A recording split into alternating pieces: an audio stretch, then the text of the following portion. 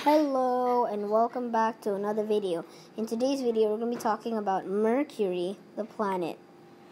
Mercury was is the smallest planet in our entire solar system and the planet does not have a moon circling around it. The, the moon would probably be sucked into it if it actually had a moon.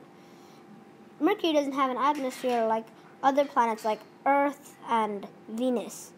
Mercury is part of the terrestrial planets or inner planets.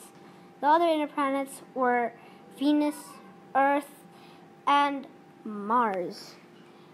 Mercury was covered by craters. These craters were probably made by Earth um, asteroids colliding with it billions of years ago.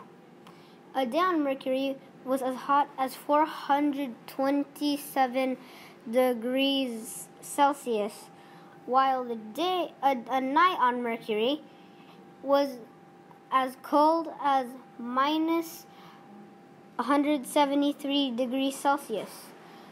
Uh, the core of Mercury is probably 55% of the entire planet's size.